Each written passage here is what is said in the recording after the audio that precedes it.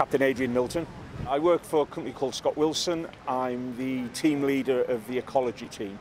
I've been in the reserves now for 22 years. I was mobilised on Op Herrick last year, so I was in Afghanistan in Lashkar in Helmand province. I think the main skills I've learned as a reservist are the management skills have got, gone up through the chain of command. Particularly I think it's important is situational management, dealing with different people at different ranks and how that relates to uh, real life as well.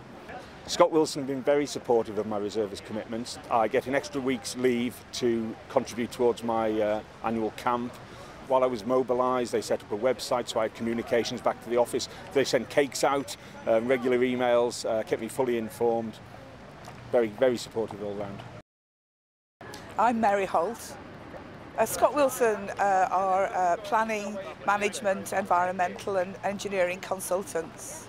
Uh, in consultancy, the main skills that we look for in our leaders are team leadership and project management ability.